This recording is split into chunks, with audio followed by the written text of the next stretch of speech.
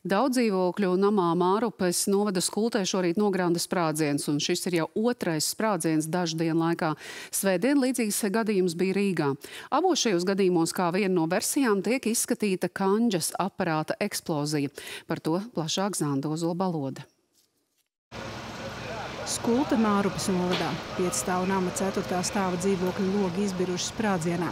Pagalmā strādā glābēji, no ēkas evakuēti 23 iedzīvotāji.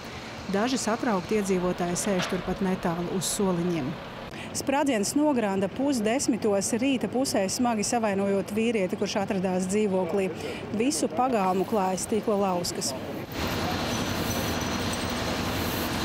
Es izgāju uz veikalu un tieši kā nāca iekšā, te dzīvoklī tā drausmīgs sprādziens bija un es izbēgu stiklus. Man neuzkrita nekas uz galvas, bet tā es arī būtu tagad slimnīcā. Bet nu, tas vīrietis smagi apdega, jo viņš iznā, nevarēja izlauzt durvis. Viņš pats atslēdza durvis. Viss bija drausmīgi apdedzis, vienkārši drausmīgi apdedzis.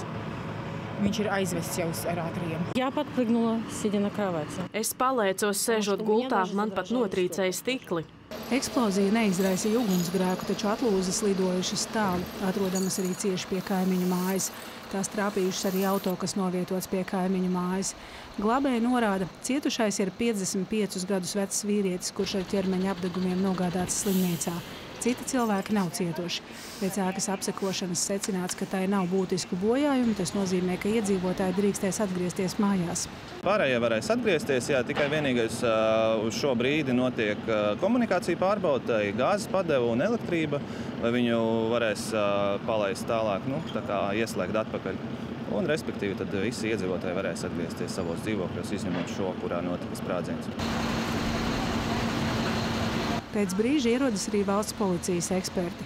Viena no eksplozijas versijām - sprādzes kanģus aparāts. Vai tas varētu būt sprādziena cēlonis, noteiks ekspertīze. Glābēji norāda, šī nav glābēja ikdiena. Sprādzieni tomēr mums ir ļoti reti. Un tomēr šis ir jau otrais sprādziens daudz dzīvokļu namā dažu dienu laikā.